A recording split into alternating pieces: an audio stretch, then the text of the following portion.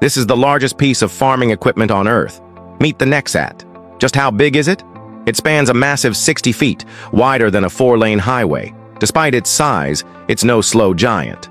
Powered by two 550 horsepower diesel engines, it handles rough terrain with ease. Its efficiency is jaw-dropping.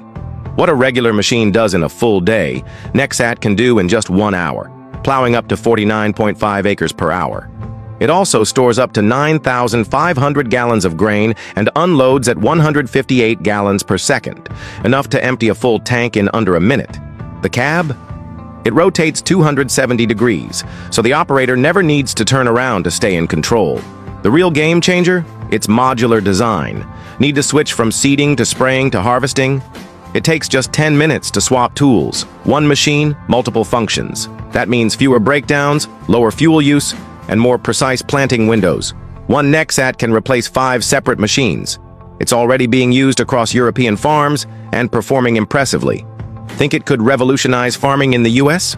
Drop your thoughts in the comments.